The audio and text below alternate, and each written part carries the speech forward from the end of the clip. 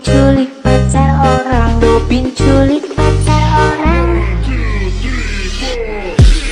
Malam tahun baru culik pacar orang Culik pacar orang Robin culik Eyo Sumatera sudah mantan tapi masih ada rasa.